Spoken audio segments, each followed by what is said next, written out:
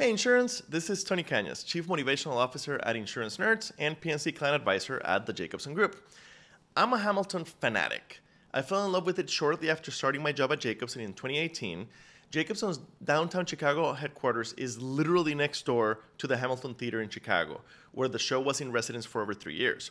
I went to see it and was simply blown away. The very next morning, I bought the soundtrack, which I've listened to on loop basically to this day. I went back to see it three or four times, and uh, when it was announced that they would close, I convinced my girlfriend to fly into Chicago with me just to see it one last time. It was literally fly in, fly out. Um, I, I haven't had the chance to see it on Broadway, but I absolutely will as soon as I have as I have a chance. My friend Greg Golsom watched it a month ago, and like me, was blown away.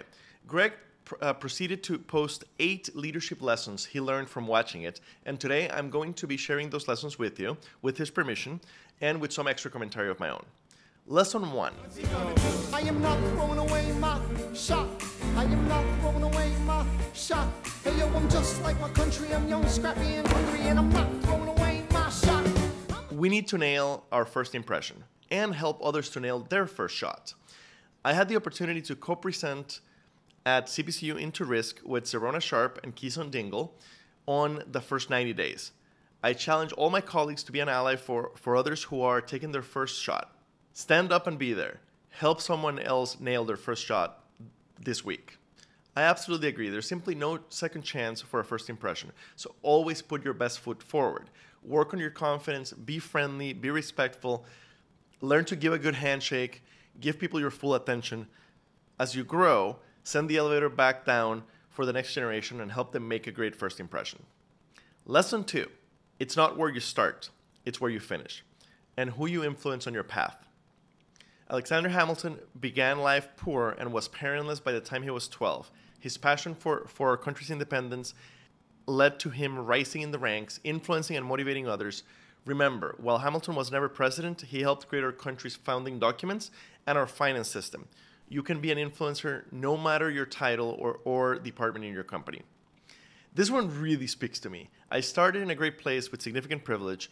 Then I found great advice and mentors along the way, and influencing insurance to be better and the next generation to succeed in insurance is huge to me. Pay it forward. Lesson three. Would be nice. While we're talking, let me offer you some free advice. Talk less. What? Smile more. Huh. Don't let them know what you're against or what you're for. Can't be serious. You wanna get... In this Zoom culture we are in, we all want to make sure we get our share of screen time. Try Aaron Burr's advice. Listen, let others talk first. You may learn something new or even be persuaded that your first thoughts were actually not relevant or even wrong. After listening and smiling, then we can talk. This one is very hard for me. I love to talk and I have to consistently work on my listening. But it's absolutely fantastic advice. You have two ears and one mouth. Do at least twice as much listening as, as, as you do talking. However, I do have to point out what, what Aaron Burr means by quote unquote talk less, smile more in Hamilton is not exactly about listening. It's more about holding your, car- your cards close to your chest and never giving your enemies ammo against you. But Greg's read is fantastic advice. Lesson 4.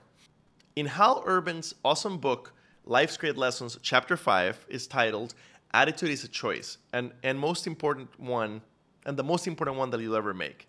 When Hamilton takes on the role as Washington's aide de camp, instead of fighting on the, on the front lines, he could have had a poor attitude Alexander Hamilton t- t- uh, took on the role with enthusiasm and soon was Washington's right hand man.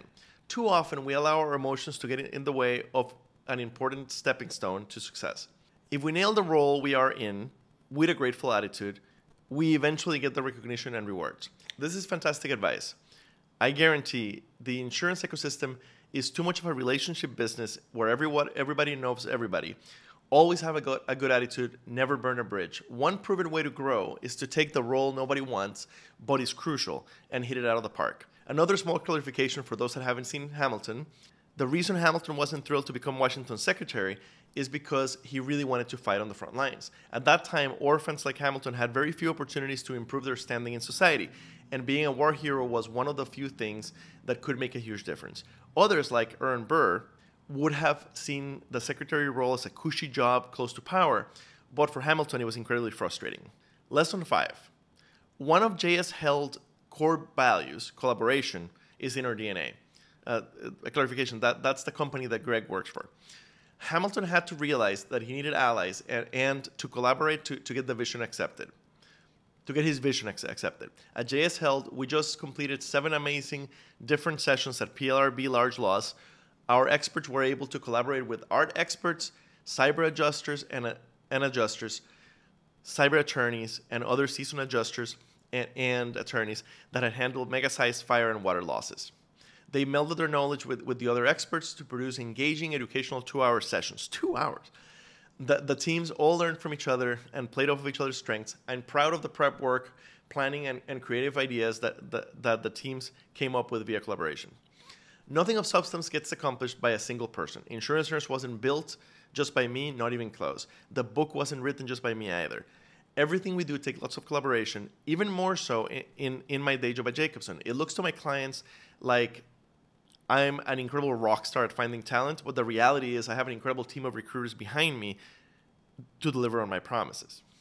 Lesson six if you're going to do something, you may as well do it awesome. I love the image of pure joy. It's the joy of reaping years of hard work and preparation. It's one reason I love, love, love debriefs. And when we do ours after JS Held sessions, we take the time to review what went well and what we can do to make the next session even better next time. I'll bet Alexander Hamilton did several drafts of his portion of the Federalist Papers that drastically improved the final effort. I agree completely. This one goes hand in hand with lesson four. Doing things in a mediocre way will result in you learning less and getting much less recognition and future opportunities from them. There's no need to be a perfectionist either, but your work has to be up to par for anything else to matter and help you grow your career. Education, networking, everything else that I talk about all the time is useless if you're doing the shoddy work. Lesson seven. I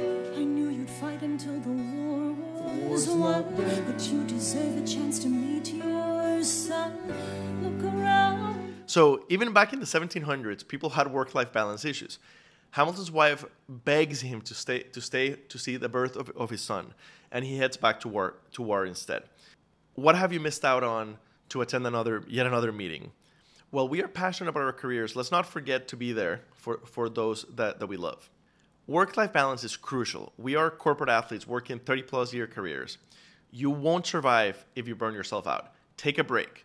Spend time with your loved ones. Don't miss your kids growing up. My girlfriend constantly reminds me nobody lays in their deathbed wishing that they had worked more. The funny part is that she works more hours than I do. Titled The Federalist Papers. The plan was to write a total of 25 essays, the work divided evenly among the three men. In the end, they wrote 85 essays in the span of six months. John Jay got sick after writing five. James Madison wrote 29. Hamilton wrote the other 51. Habits are the key to all success. Did you know that, that, that, ha- that Hamilton wrote 51 of the 85 Federalist Papers in less than six months? That's some serious writing and some serious butt in chair long days. He knew he had to carry the load to, to get this done for our independence and, and governing. What's your biggest goal? Setting a daily habit to, to work on pieces of your goal is the best way to move towards your milestone of reaching your goal. You want to reach a big goal? Set and guard the time to do it. You are your habits. More importantly, you become your habits. Pretty much every book on career success that I've read mentions the importance of, of habits. There's also several great books on habits, and the most ha- the most recommended one is Atomic Habits. I reviewed it on, on Hey Insurance episode 97. You can find that on, on YouTube. Uh, thank you for watching, and uh, thank you, Greg, for your friendship and, and, your tireless involvement with the society, with the CPC Society, and for bringing me back to this wonderful story of, of Hamilton. Also, I, I want to add that that habits, uh, it's not just about creating the right habits; it's also about leaving the time to do deep work. Uh, Hamilton would have never been able to to to write the 51 essays of, of the Federalist Papers that, that, that, that he wrote on, on his own if he had not set, set time for deep work. And he didn't have the problem that we have of cell phones, of notifications, of, of constant electronic distraction, set time for deep work. I also did a, uh, a video on deep work in the Insurance Nerds YouTube channel. Uh, look, look, for, look, look for, that, for, that, for that one too. It's a fantastic book. Thank you so much for tuning in today. I hope that this was helpful. See you next time.